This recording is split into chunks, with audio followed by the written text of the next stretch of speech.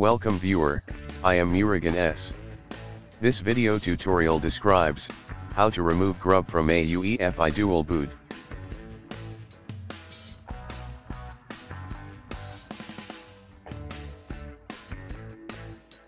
Type system information in Windows search bar.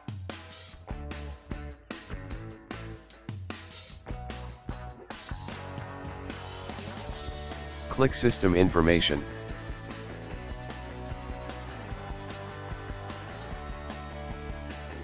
My system BIOS version is UEFI.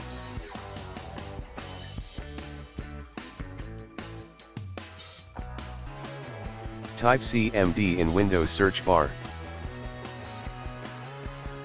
Right-click Run as administrator.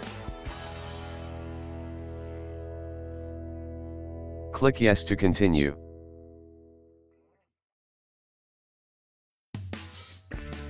Type diskpart in command window.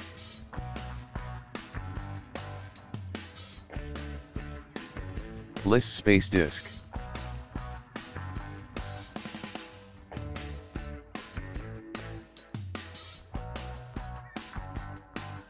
Select space disk 0.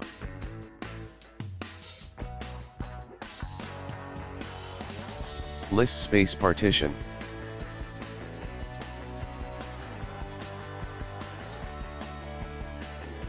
Partition 2 type is system.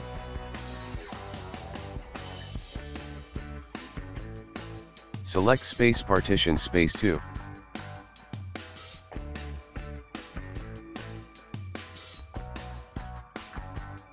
Assign space, letter equal to, x.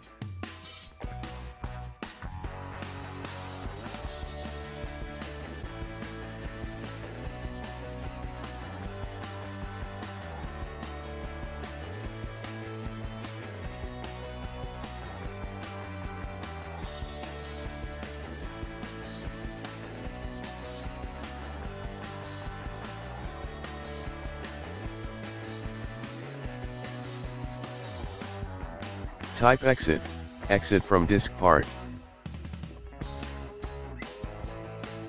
Type exclamation and press enter key. Type dir to list directory. cd space, EFI. Type dir to list directory. My Linux is Kali, so want to delete Kali Linux. Type rd space, Kali slash s.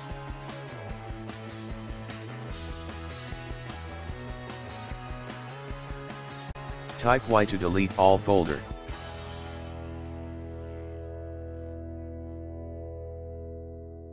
Type exit to exit command prompt. Restart your system.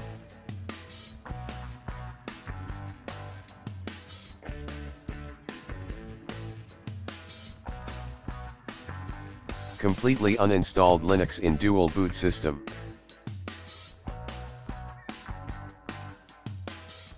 Thanks for watching. I hope, this video tutorial helps to solve the problem.